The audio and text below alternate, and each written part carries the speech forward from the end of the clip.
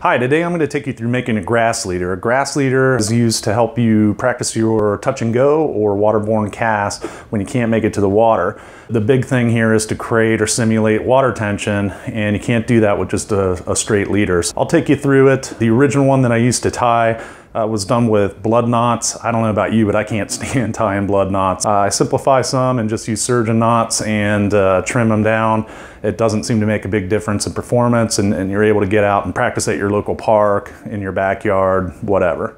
So what we have here just our two materials. I've got some 30 pound uh, test leader. This happens to be fluoro. You can use mono uh, and just a pair of scissors here. All right, so we're gonna take uh, some of our fluorocarbon here and just pull off, um, let's see, about 18 inches or so. I'm just gonna measure from my elbow to the uh, tip of my finger here and then cut. And what we'll do is we'll do that 10 times um, or so to build up all of our pieces.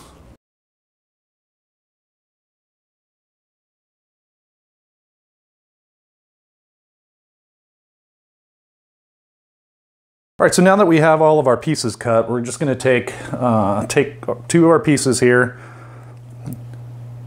take two ends, put them kind of parallel to each other, do an overhand loop there, and then pull your tags through.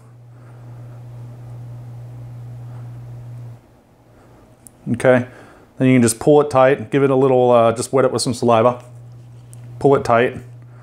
And what you end up with here is two tags.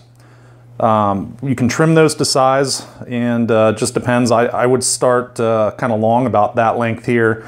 And uh, if you need, feel that there's too much uh, too much drag through the grass, you can trim them fairly short down to, you know, maybe, maybe uh, I don't know, half inch or so, quarter of an inch maybe. So I'm just gonna continue this process and then I'll come back and trim the, the tags.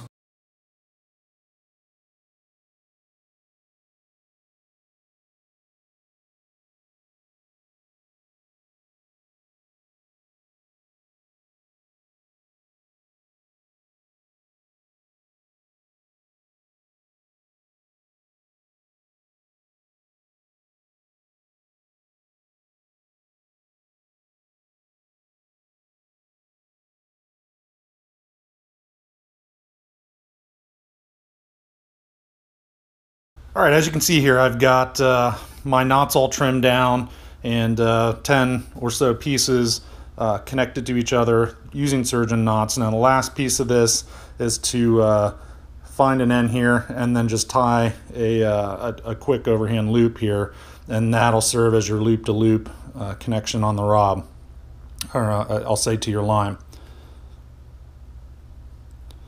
So just a simple overhand knot like that and uh, trim that down and you've got yourself a decent grass leader. There you have it. All right, now that you have your grass leader all tied up, you might be wondering how you actually attach this to a loop-to-loop -loop connection. Um, at the end of your, uh, your, your shooting head or tip, uh, you, have got uh, a, a regular loop-to-loop. -loop. However, that's an awful small connection to try to fit all those surgeon knots through. So just a little trick, take this loop, fold it back over um, your line,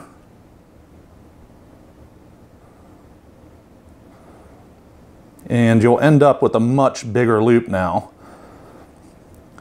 So now you can take your leader and find its loop to loop or end loop I'll say.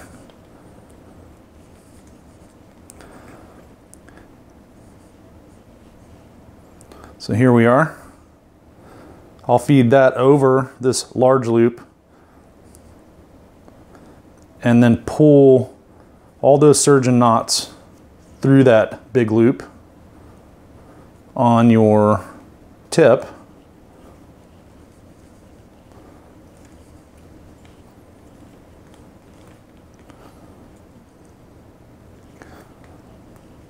And once you get them all through, you can kind of just tighten this large loop down.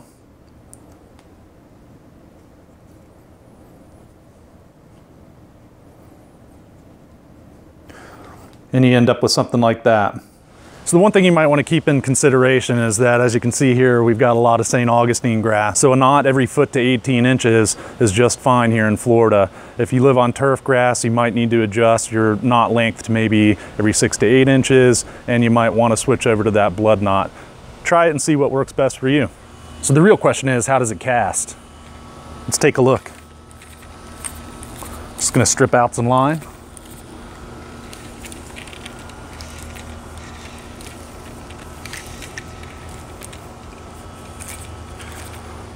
And we'll try a snap T.